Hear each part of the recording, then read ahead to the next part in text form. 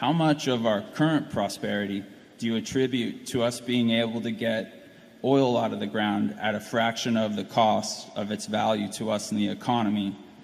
And how will we be able to live better in the future when we can no longer get more and more of this free lunch and we become dependent on more dilute sources like solar and wind? Couldn't this turn out like trying to satisfy a drug addict with a Coca Cola? Obviously, the discovery of oil, when was it about 1850 something, uh, Colonel something, Colonel Drake at Titusville, Pennsylvania or something. The that changed the world in a very major way and it's only 150 years ago. And since then we've been sticking straws into the earth uh, at an incredible pace. There's over 500,000 producing wells in the United States. Would you believe that? I mean, 11 barrel or 10 barrels a day average or something of the sort. I mean, we have really exploited what may have taken, I don't know, what is hundreds of thousands of years or millions of years to create. Uh, it's contributed in a huge way to the prosperity of the world, but the world, in my view, will not be dependent upon that particular, uh, call it windfall for the next 100 years. And Charlie knows way more about this subject than I do, but but there will be other free lunches available, you know, whether it's solar or uh, there's lots of possibilities. Don't don't, ever don't ever give up on on humans' ability to innovate in ways that that create solutions to problems that seem insolvable. We've, We've faced all kinds of predictions, Uh, all of the inventions having been invented. There's some famous statement, I forget who made on that.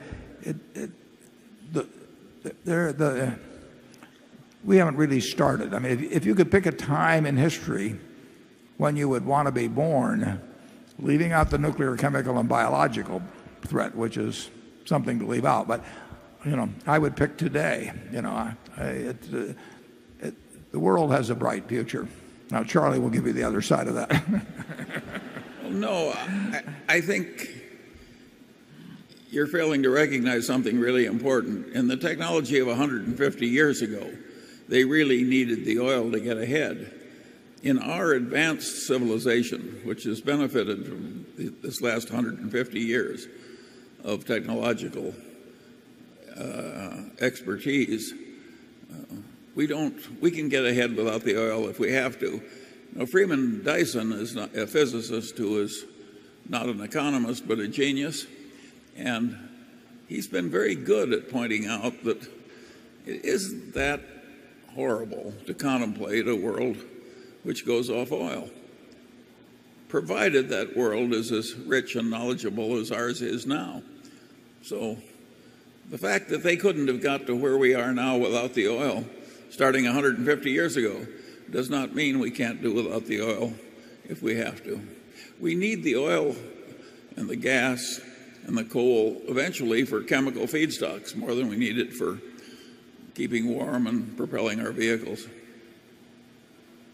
And the adjustment fortunately is will be fairly gradual. I mean, it is not like 85,000,000 barrels of a day goes to 50,000,000 or something in 5 or 10 years. So it's a workable period of adjustment in my view. Hmm. If it doesn't bother Freeman Dyson who knows more about it, I don't think it should bother you too much. He's always pulling that on me.